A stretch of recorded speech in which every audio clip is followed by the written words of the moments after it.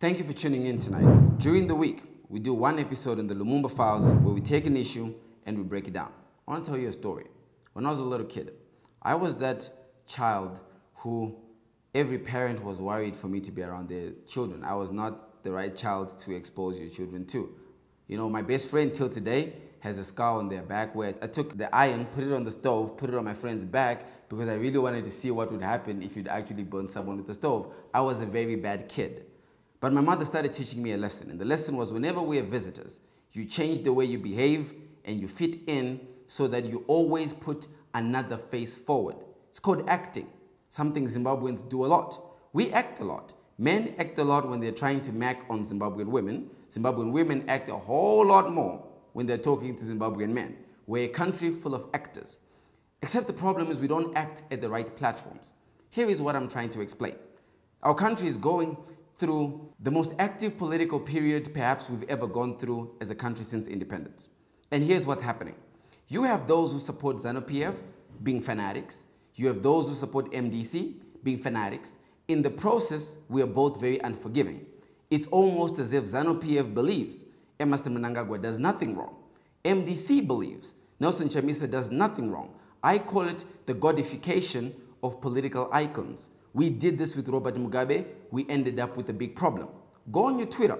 Look at the way MDC supporters have treated people like Fadzai Mahere, people like Trevor uh, the way they've treated people like Alex Magaisa, who is from the same party.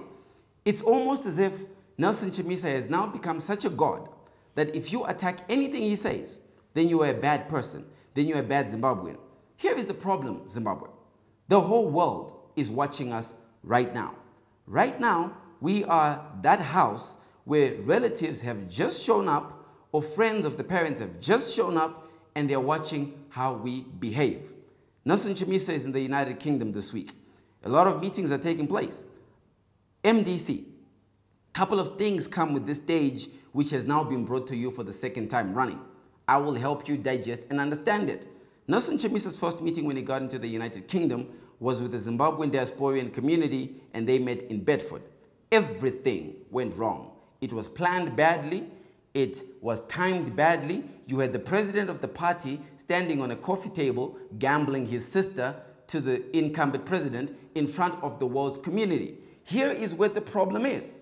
It's not that the joke is not a joke or what Nelson Chamisa is really offensive because the truth is, if we really wanted to talk about sexual harassment, if we really wanted to talk about underage marriage, if we really wanted to talk about the rights of women in this country, there are platforms where these things are on steroids. What Nelson Chamisa did was exercise political banter.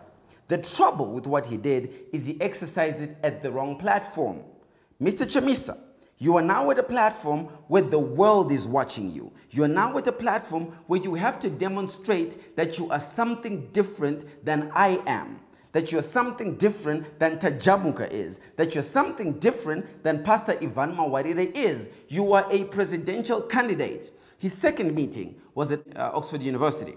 One of the young girls who got up to speak, her name is Varaidzo Kativhu. Varaidzo Kativhu has been covered everywhere in the press uh, in the United Kingdom for her efforts towards equalizing and creating an equilibrium where young people from the ethnic minority groups, they call it BAME in the UK, can access Ivy League University, such as Oxford Union.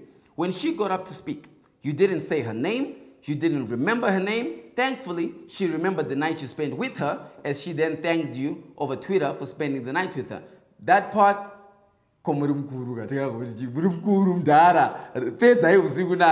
but Mr. Chamisa, when you are now at that stage, you remember people's names. The next young Zimbabwean who got up is a guy by the name of Godezaishe Makuvise. He's a PhD uh, student in engineering at Oxford Union. Again, Mr. President, when you were speaking to this young man, number one, you remember his name.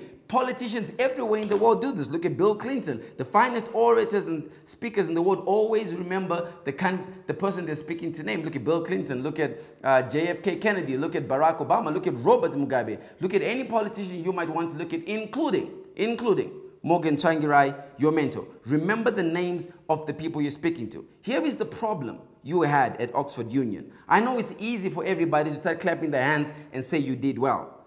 Mr. President Chamisa, Instead of practicing what you're going to do when you get into State House, instead of practicing how you're going to salute the vanguard of the party into State House. Practice what you're going to say when you have an opportunity to speak at Oxford Union. I listened to your speech over and over again and I broke it down. Not one time did you, did you break down any statistic. Not one time did you break down any economic figure of what is happening in the country. Not one time did you provide a solution that is based on fact or science of what is happening in Zimbabwe. For the full time you spoke at Oxford Union, you spoke off the cuff. There is a reason people write speeches, Mr. President. It's so that they stick to a script. A script is important because it helps you narrate your issue in a way that is ultimately understood but does not forget crucial elements out. You asked a question about wildlife. You had no facts on your hands. This is why I like the fact that you have Tendai Biti with you because Tendai Biti will bore you to death, but he will bore you to death with facts. That's what Tendai Biti will do. You're not a preacher. Mr. President. You are not a preacher. You are a politician who's in primetime TV. When you get the microphone and the limelight is on you, you speak fact. I'm glad you fixed that when you go to Chatham House. The performance there was a little bit more improved. You gave a little bit more uh, statistic on the economy. But here are the issues you're not talking about, Mr. President. When you speak about the currency deficit we have in this country, give solutions to how you are actually going to fix the currency problem. You can't say the solution to the currency problem is a confidence issue. Okay? That's not a good argument. Now, it is a reasonable argument to say, yes, there is not enough confidence in our banking sector or in our banking system. That's why people are not putting money in the bank. But there's a bigger issue outside of the fact that there is no confidence in the market. There is no productivity. Start talking about productivity. You're speaking to people who have budgets to bring in manufacturing plants in the country. Start talking about manufacturing. Start talking about Willowvale. Start talking about the fact that in this country, Nelson Chamisa, tell them, in case you don't know, that in this country, we are the only tire manufacturing company outside of South Africa between here and the Congo. So we were the country where everybody came to get tires from. Do you remember Dunlop, that company? That was a Zimbabwean company. Talk about that. Talk about the, the productivity of the roses we used to send when we used to farm and send roses to the Netherlands. Speak about that. General Mujuru used to be the king of that cartel which exported roses out of the country. Talk about the wine. Remember Green Valley wine? We used to have wineries in this country where we made wine, we exported to the rest of the region. Let them know that you understand where the country came from, where the country is, and where the country can go. Stop talking about Mnangagwa.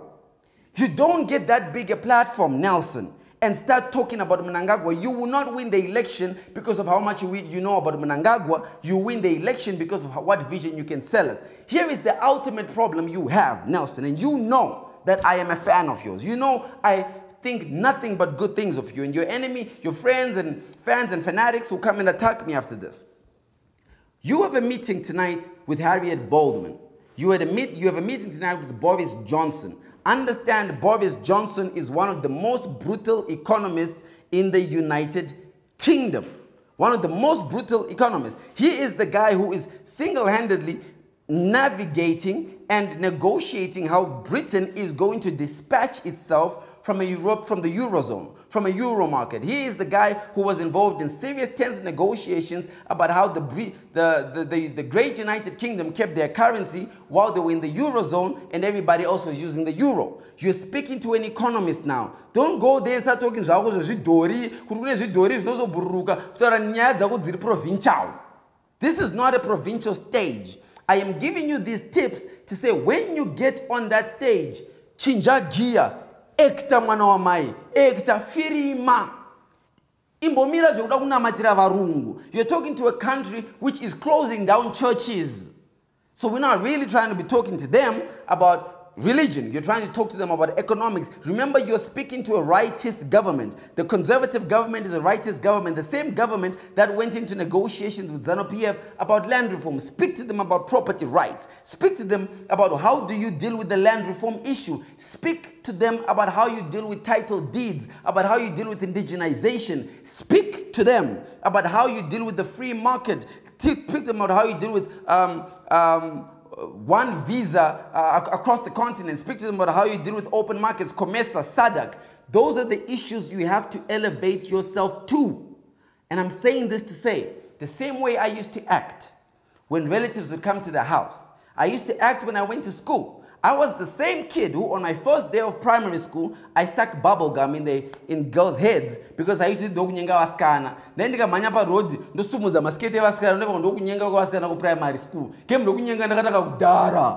pandakadzidza netime mundaraunda kunyenga unopfavirira chishona chinoti rinonyenga rino hwarara rinosimudza musoro rawana saka mudhara kana uri kunyenga kunze uku usanyenge uchipaza usanyenge uchifumuka usanyenge uchifumura. Politicians have done an excellent job of dividing this country right now. I want to speak to zimbabweans and i want to say this.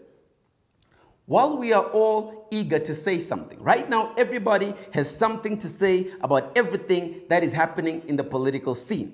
The problem is this. When we speak by ourselves, oh yes, let's argue. Oh yes, let's ratch each other out until we find the finest, until we find the finest arguments or the finest ideas that move this country forward. Let's agree that we may disagree, but we all love this country. We may disagree on how to move it forward, but surely we all love this country. Undressing your president is not going to make you look like a better man.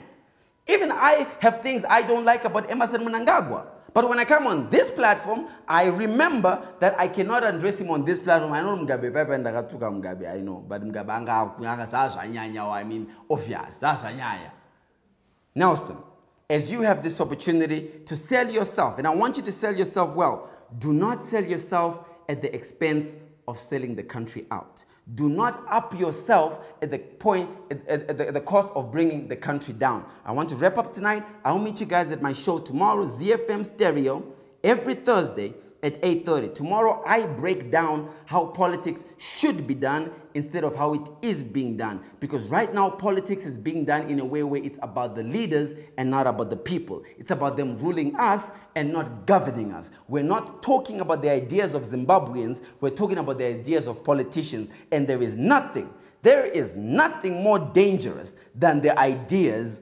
of politicians. Stupidity is like death. And most politicians are full of stupidity. And you know what death does? Death will hurt those who you leave behind. Him or she who is dead feels no pain. So the way you are being so stupid, you politicians, I know you don't feel the pain, but us who are looking up to you, with the stupidity you're exemplifying to the world. My name is Lumumba, Lumumba, Lumumba. I say it three times because I can't let you be ignorant enough to forget it. See you tomorrow. Guys, thank you for supporting the Lumumba Files. To make sure you don't miss a show, press the subscribe button below and the notification button, that's the one with the little bell, and you will always get told when I put up a show. Thank you for watching. Head bowed.